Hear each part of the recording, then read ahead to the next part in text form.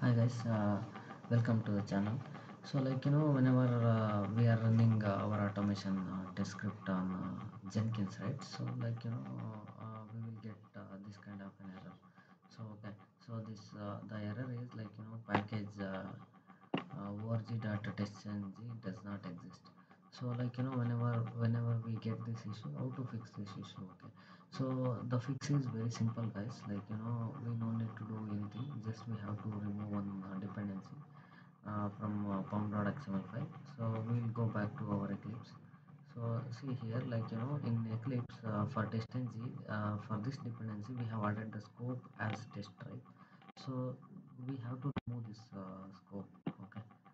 So after removing uh, you save the changes so then uh, poster changes to bitbucket okay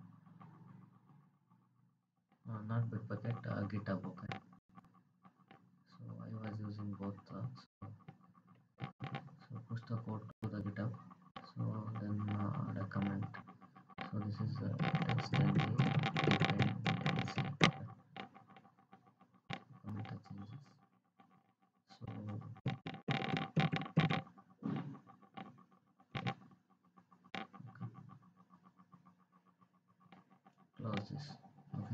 so now come back to the jenkins and uh, go back to the project and uh, like you know build it once again.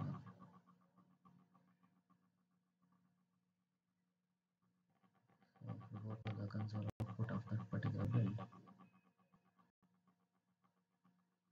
So it started running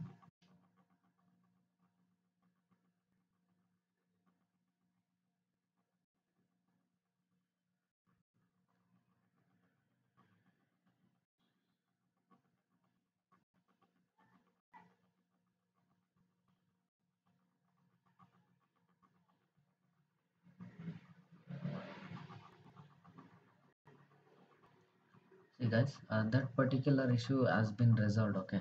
So this issue is different one okay? So this i'll tell you in the next video how to fix this issue okay? So this error cannot uh, access to the IR report or bad class file okay? So this is another issue.